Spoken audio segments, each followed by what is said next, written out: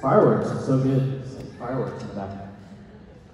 Ah, wow. Um, just want to say grateful to be doing this with you all. You all. This is really special and really awesome. Thanks. Yep.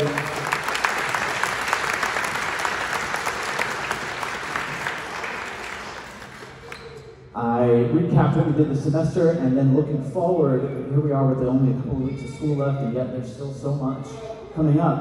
Um, I try to put it kind of last minute in the program earlier today. Uh, you'll see the second to last page with a couple of, of items on it for your information. Uh, the first one is, of course, our Disney trip, which is coming up.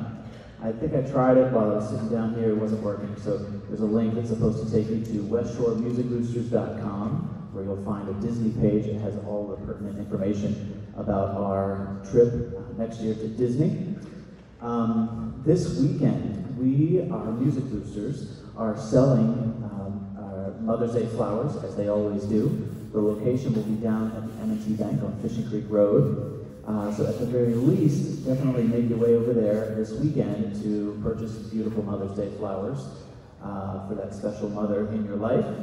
Um, and if, uh, if you're so willing, um, we certainly could use your help volunteering down there as well um, to help make that fundraiser happen. There is a time to sign up sheet. I do believe that link is working on the program. You should be able to click right there and sign up for a time to help out this weekend. Um, we are always looking for volunteers for our Music Booster functions. Um, so we would certainly appreciate seeing some new faces out there uh, this weekend at the Mother's Day Flower Sale.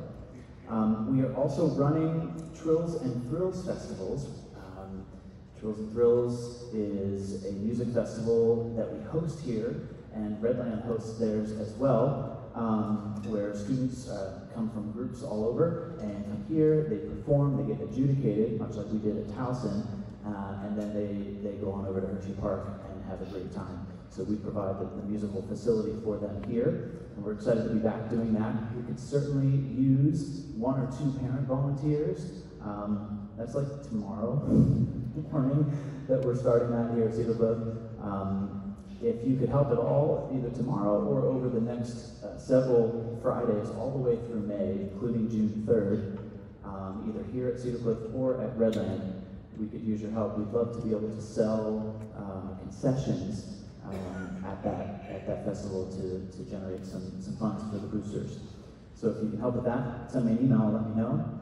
Um, what else did I have on there? Marching band is, is coming up. We'd like to return to that uh, with everybody, with our returning members as well, on our next Try It Out night, which is next Thursday, the 12th.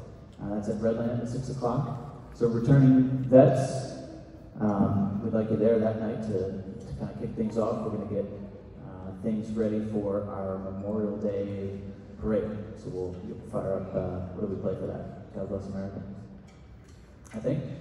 Um, and then there's graduation, of course, for the wind ensemble at the end of the year. So all of those things are, are there for you in the program. Um, thanks for being here tonight.